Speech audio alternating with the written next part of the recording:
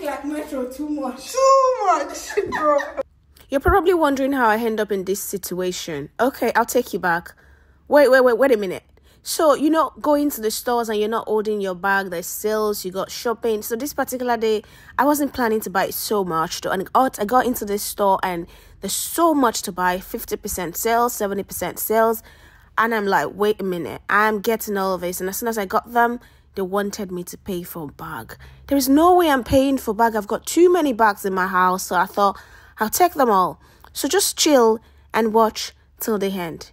No worries, nothing nothing funny here. It's just someone holding a pants trouser, a nice top, a very warm hoodie for the weather. And yes, what is going on here? I can't believe I did that now. This is embarrassing. Yo, what? If you see this girl out there, just grab her, do something, drag her to the hospital. She needs help. This is definitely not me. There's no way I'm going to do that. And just uh, by the way, that jacket is cute. It's lovely. Is that spaghetti I see?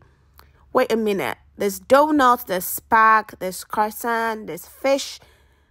Way, no way, no, no way, Happy. I'm I give up.